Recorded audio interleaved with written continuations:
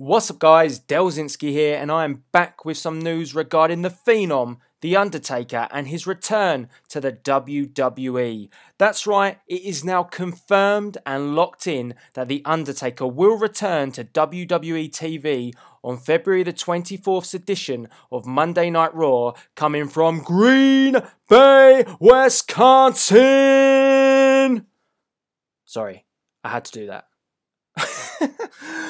anyway, back on track. Yes, it is true. It is now confirmed. The Undertaker returns at February 24th's Monday Night Raw. And this will kickstart The Undertaker's storyline going to WrestleMania 30. Not just that as well, the timing is very significant because this is planned to actually kick off as well the WWE Network launch. So bringing The Undertaker back is a big selling point for the WWE. Now, the question is at the moment is who is The Undertaker going to face at WrestleMania 30? Because at the moment it is still up in the air. Is it going to be Daniel Bryan?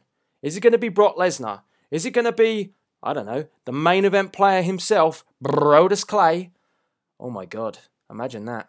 But the talk at the moment is still ongoing and we don't know who Undertaker's opponent is for WrestleMania 30. So it'll be very interesting to see when he makes his return who he's going to get involved with. Hmm, sounds a bit strange, but you know. It's going to be a big, big night, and I'm very excited about it because I want to know who The Undertaker is going to face at WrestleMania 30. So, guys, that is it. That is the news that I'm bringing you today. The Undertaker confirmed for the February 24th Monday Night Raw from, as I said, Green Bay, Wisconsin.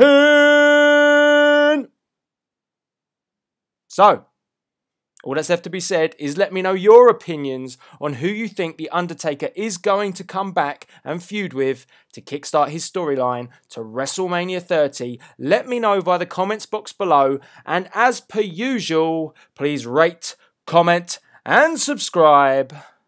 This is Delzinski, signing out.